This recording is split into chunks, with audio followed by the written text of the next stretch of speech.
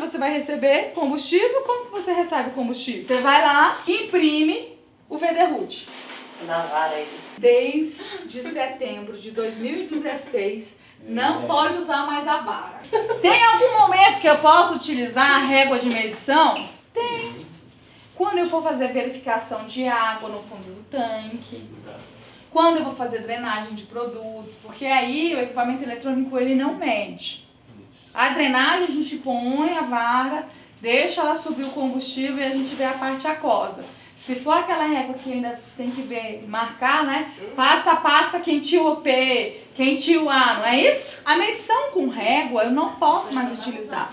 Vou receber combustível, eu vou lá e faço a impressão. Porque eu vou saber exatamente. Agora imagina, diariamente você vai e utiliza a régua. Você está exposto muito mais que ela, que não utiliza.